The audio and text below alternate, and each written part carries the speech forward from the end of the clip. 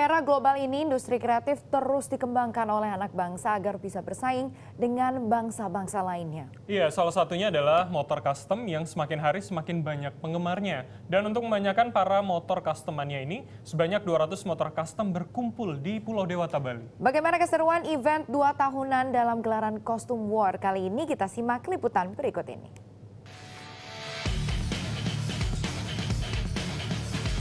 Selain menjadi kendaraan sehari-hari, sepeda motor kini telah menjadi bagian dari fashion.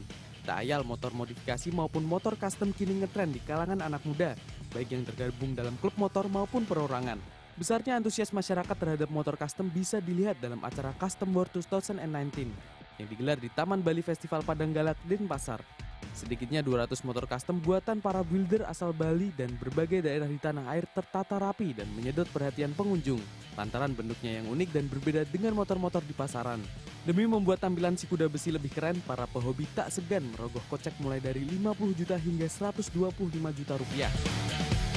Event ini kita jadikan sebagai ajang memunculkan kreativitas anak muda dalam bidang dunia custom juga antusiasnya juga luar biasa, keinginan dari kawan-kawan komunitas dan builder-builder baru yang bagus-bagus juga di Bali luar biasa sekali.